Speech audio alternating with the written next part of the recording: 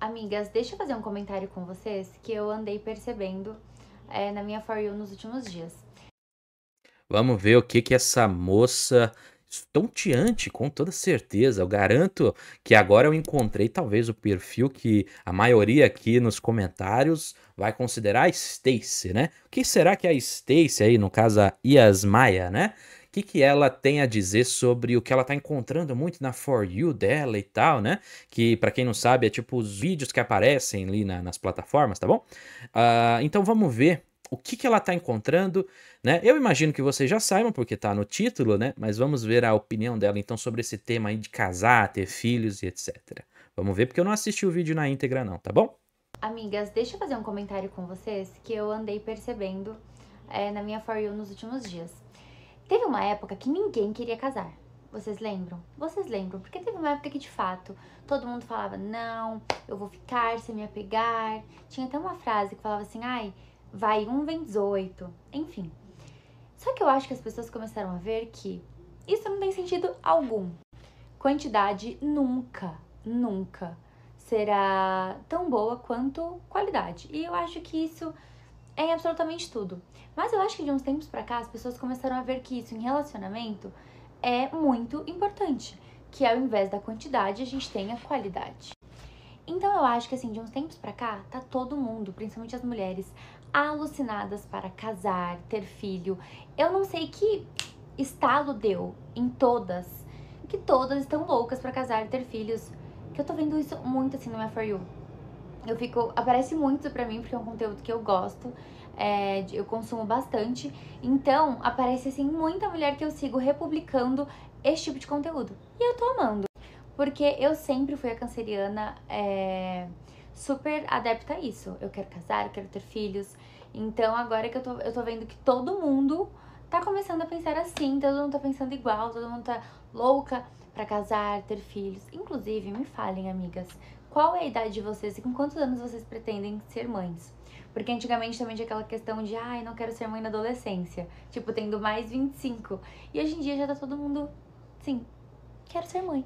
Seria legal saber a idade dela também, né? Ah, para a gente fazer uma análise mais interessante, né? Mas vamos falar em geral, tá? Em vez de ficar focando muito nela. Porque assim, a. Eu, eu, eu olho muito as mãos. As mãos é um ponto importante para a gente ter uma noção da, da idade de alguém, né? Não tô afirmando nada, né? Mas ela tem um pouco mais de, de veias aqui na mão. Talvez ela seja um pouco mais velha, mas não sei. Não, não tão mais velha, imagino eu. Talvez tenha uns 25. Mas enfim, vamos lá. a, a questão aqui é a seguinte: estamos vendo uma moça que com toda certeza agrada aí muito. Se você ai, não, não quero saber. Tá, eu, tá bom, eu vou acreditar no seu, na, na sua relação de que ela não é tão bonita assim e tal, mas, pô, convenhamos, né? Para a maioria, ela é sim muito, muito, muito, muito nota 9, 10 ali, certo? Ah, e vocês sabem minha opinião, vocês sabem meu gosto, eu já falei para vocês aqui, quem acompanha o meu, meu canal sabe que eu gosto mais das morenas e tal, né? Mas ela é, é linda, não dá para negar. Então, ela tá apresentando o quê? Ela tá apresentando algo como se fosse assim, veja só, Tá na moda agora casar e ter filhos, antes não tava. Então o que, que aconteceu? Por que, que teve essa mudança, né? O que, que deu estalo, né? O que, que, que surgiu aí, né, nesses últimos tempos que deu toda essa dinâmica diferente?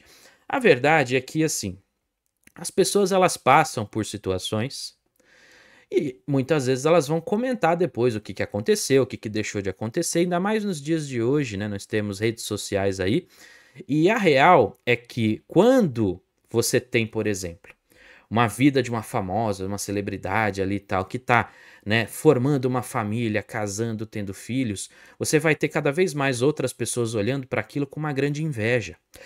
Porque é muito mais fácil você invejar essa possibilidade, né, do que invejar a, a moça empoderada que está aí saindo com vários caras, porque isso é muito fácil. O que, que você inveja? Você inveja alguém que tem um palio ou alguém que tem uma Ferrari? Você inveja alguém que tem uma Ferrari. Por quê? Porque é muito mais fácil ter um palio do que ter uma Ferrari. Não é verdade?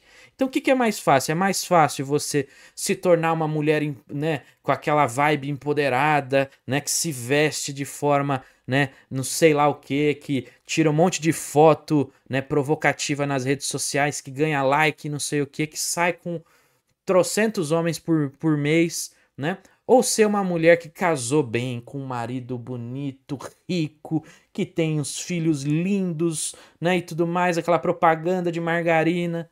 E a verdade é essa. Você tem essas duas realidades aparecendo nas redes sociais, etc., para as mulheres.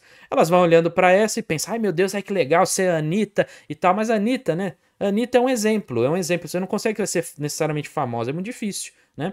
Mas você consegue ser o quê? Você consegue ter a vibe dela de né, sair com, com vários caras e não sei o que e tal, e sair com, né, com todo tipo de pessoa, se é que vocês me entendem. E beleza, então vai ter a, a mulherada jovem que ela vai olhar para isso e falar: nossa, ai que legal, que divertido. Mas vai durar pouco, porque ela vai enjoar, ela vai cansar, dá trabalho, né? Fica exhausted, né? Como diria lá os vídeos dos cortes, né? né? E aquela coisa toda, né? A, pessoa, a mulher fica cansada. Aí ela começa a olhar para o outro lado. Ela olha assim, nossa, eu queria estar, tá, né, é, em casa agora, né, sem me preocupar com trabalho, porque nenhum homem me assume, então eu tenho que trabalhar, eu tenho que fazer isso, tenho que fazer aquilo, né? E ai, né, bem que podia aparecer um cara que virasse para mim e falasse: "Não precisa mais trabalhar. Vai ficar comigo, eu vou te, vou cuidar de você, e não sei o que, nós vamos viajar, aí você vai ter meus filhos e tal, você vai cuidar ali, né, é deles, né, enfim, mas vai ter uma empregada para cuidar da casa e tal. Então esse sonho é um sonho muito mais gostoso para o longo prazo. Não dá para negar. Então a real é que provavelmente a sua For You está apenas apresentando uma realidade dessas moças. Não a realidade das mais novinhas ali que estão querendo se divertir. A realidade das mulheres mais próximas, talvez, da sua idade e que querem ter esse tipo de experiência, porque já tiveram a outra experiência e viram que o carrossel não é tão interessante assim. Essa é a verdade, tá? Significa que a moça, quando encontrar esse ser perfeito, maravilhoso, que ela vai sossegar? Não. Vide o caso da, da esposa do Kaká aí, né? Que o cara era perfeito demais, né? E a real é essa, assim.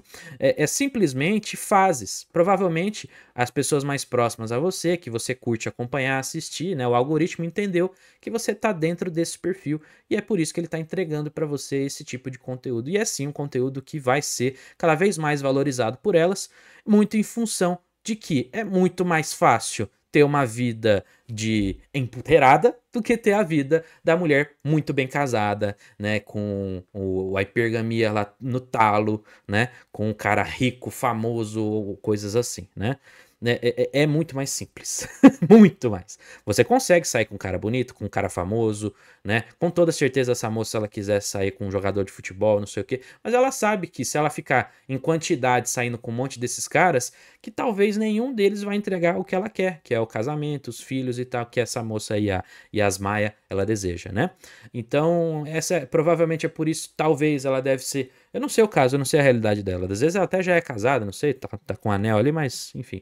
A, a, a verdade é que essa realidade, como eu disse, é uma realidade para poucos e por isso invejada por muitas mulheres. Tá certo?